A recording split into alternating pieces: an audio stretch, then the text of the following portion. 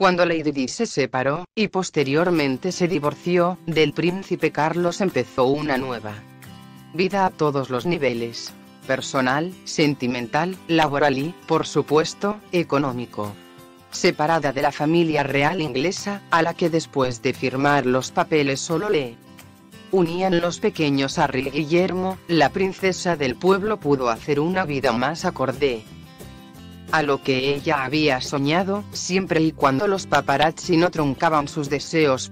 Los príncipes de Gales se separaron en 1992 pero no fue hasta cuatro años más tarde que ambas partes firmaron los papeles definitivos de divorcio. Para entonces, Diana ya se había asegurado de que no le faltaría dinero, ni a ella ni a los suyos, por el resto de su vida. Poco podía imaginar que esa vida en realidad sería tan breve. Cuando Diana murió en aquel fatídico accidente automovilístico, en una Cálida noche de agosto parisina, tenía 36 años y un patrimonio de unos 20 millones de euros aproximadamente, de los de 1997, que con la tasa de inflación supondrían unos 30 millones en la actualidad. La boda de Diana y Carlos. Cordón Press, una ruptura cuantiosa. Geoffrey Vigney era el responsable de asuntos financieros de Carlos en aquellos años fue también el encargado de llevar a cabo los términos económicos de su divorcio. Él mismo declaró al diario inglés Telegraph que el príncipe tuvo que vender toda su cartera de inversiones para poder hacer frente al pago. La princesa se quedó con cada centavo que tenía. Me pidieron que liquidara todo, todas sus inversiones, para que pudiera darle el efectivo.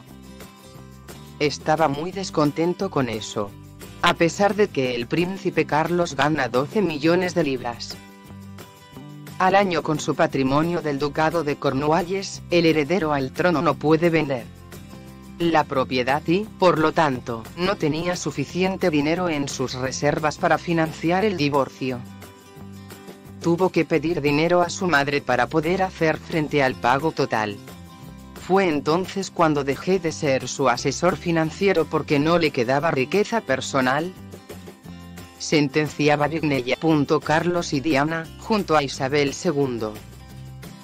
Cordón Press, las condiciones del divorcio no se acababan ahí.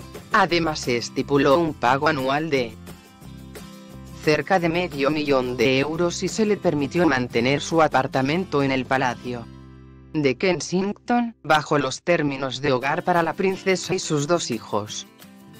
Así que Diana se ahorró un buen piquito en alquileres londinenses o tener que comprar una propiedad que ya de entrada es un ahorro importante teniendo en cuenta que la capital inglesa está entre las más caras del mundo. Algunas fuentes también indican que antes de que se ejecutara el divorcio, la princesa recibía un salario anual que rondaba el millón de euros.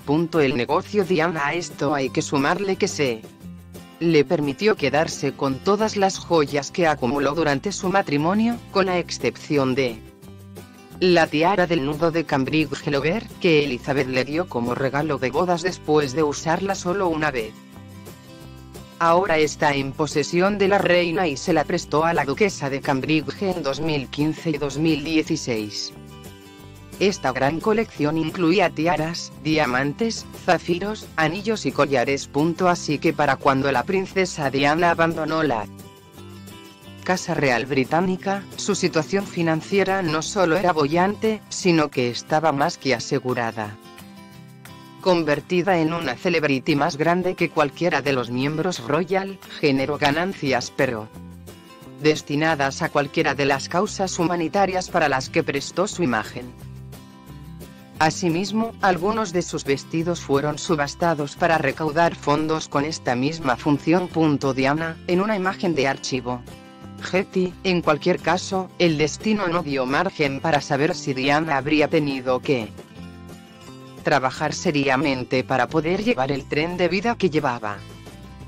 En cualquier caso, tanto su fortuna personal como su relación con Dodi Alfayet, heredero de una de las mayores fortunas del planeta, no hacía presagiar que Diana tuviera nada de qué preocuparse, al menos, en el plano económico.